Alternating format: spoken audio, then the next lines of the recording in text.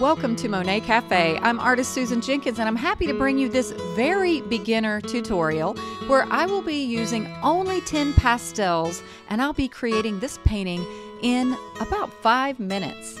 And while this is a super easy and super fast tutorial, it contains a lot of principles that are important to just about any artwork.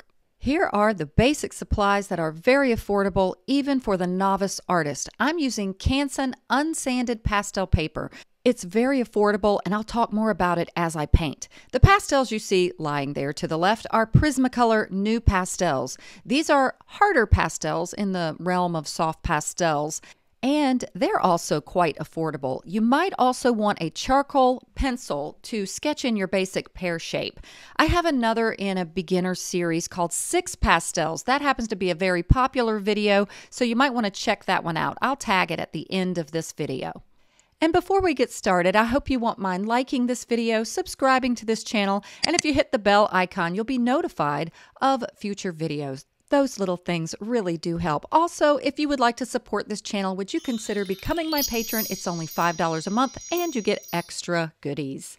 And here we go. This is such a simple pear shape with a charcoal pencil. And I got my reference image. I didn't have a pear in my house, so I got it from pmp-art.com. I'll provide that link in the description of this video.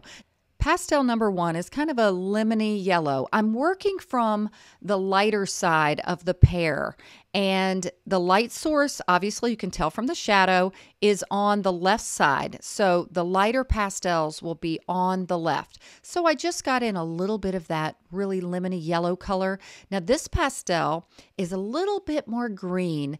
These differences are, are kind of subtle. I'm not even sure if you can tell from your computer screen, but I'm working it a little bit further down the pear. Notice also how I'm not making a hard edge. I love creating those soft edges. Things look more painterly that way. Now this you can tell is a little bit of a warmer green and I'm working it gradually around the pear um, to where it's getting a little bit darker, where there are curves and where there might be a few shadows. Uh, but I'm staying still more on the lighter side of the pear with this.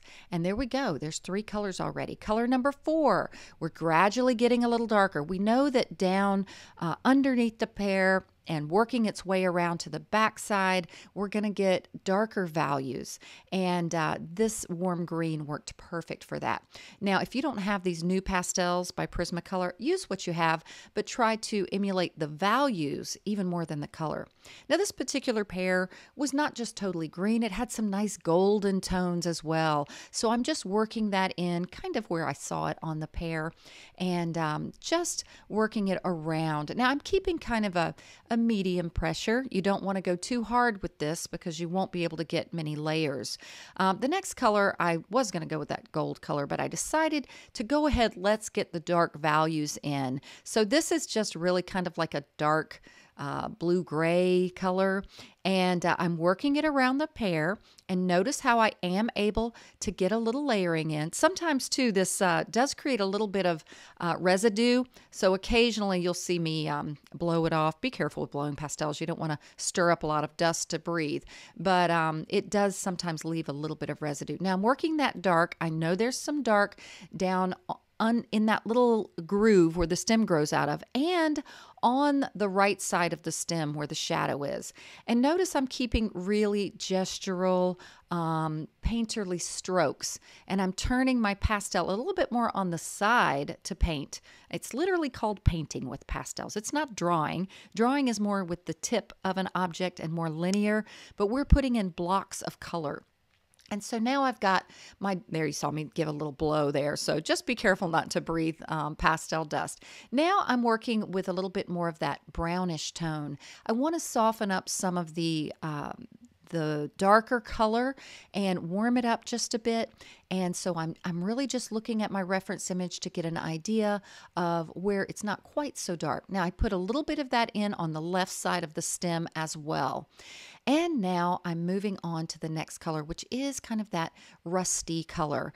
And I'm working it also in some of those areas over the brown um, to kind of blend the light to the dark side and soften that edge a little bit. And I put a little hint of it on the left side of the stem stem where the light is shining. Now I'm moving on to this. It's hard to tell from the video in your computer screen. This is actually a lighter yellow than the ones I used before. And I'm using it to give a little bit more of some of those brighter colors where the light might be shining. I'm also sneaking it, sneaking it around that little rim up top of the pear uh, where light is catching even on the other side uh, where it wraps around the stem. And now I told you this was short. The final pastel number 10 is going to be my highlight. And I'm just putting the highlight literally where the light would be hitting the pear and um, giving that really the three dimensional feel from the values we've created here. And now, actually, I'm going to just use my finger to lightly blend. It's going to soften the textural look of this Canson paper. I don't want to overblend, but can you see how it softened it up? Really gave a nice painterly three dimensional pear in less than five minutes with 10 affordable pastels on an affordable pastel surface. So, it's like I often say, painting really isn't all that hard once you know a few rules. So, I hope you enjoyed this lesson. Again, please give me a like, subscribe, leave me a comment. I love to hear what you have to say. Check out this other video, and God bless and happy painting.